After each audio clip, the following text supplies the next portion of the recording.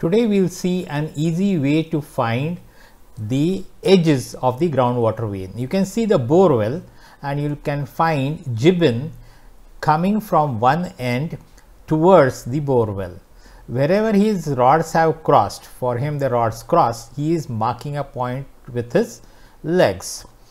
He is crossing the bore well and finding another deflection or cross where he is marking another edge. So, this is the second edge of the bore well. In for some people the rods deflect. Now, he is standing at the first place again and then moving in a zigzag manner from the point where he had started and wherever the rods are crossing or deflecting he is marking those points. So, he is moving in a zigzag manner just like a snake and all those points he is trying to mark them with his foot.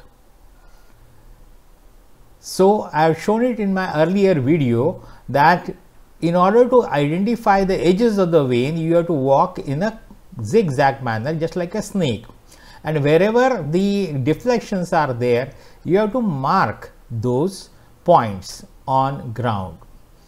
Now, in this way when you get the edges those points which are marked are the edges of that particular vein.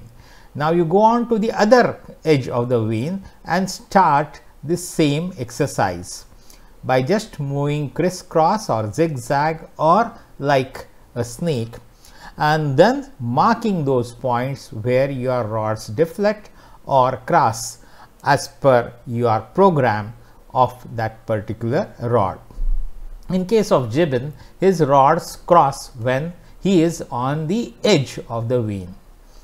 In this way, you have to identify the second edge of the vein.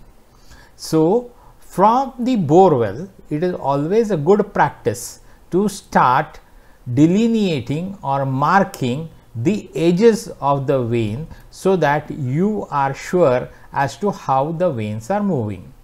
Now, wherever the marked points are there on that you can keep bricks, wedges, stones or any material which will show these points clearly. And in this way you can again cross check whether the points which you have marked and kept the stone or brick are correct or not. So, you can again check it with your L rods whether these points are correct or not.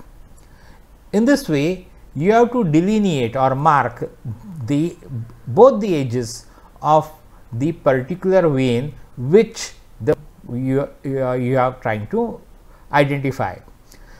After that you can say from the each brick to the brick you can delineate a line and mark it with the help of the chalk dust. Once you have marked them the edges with the chalk dust then automatically this you can visually see as to how the vein is there below the ground.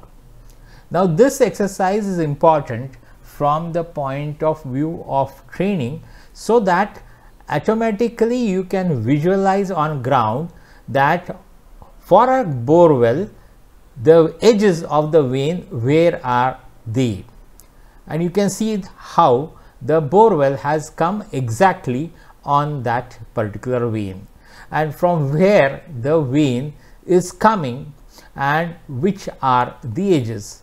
So, in this way it is very easy to delineate or mark the wedge edges of the vein groundwater vein on ground.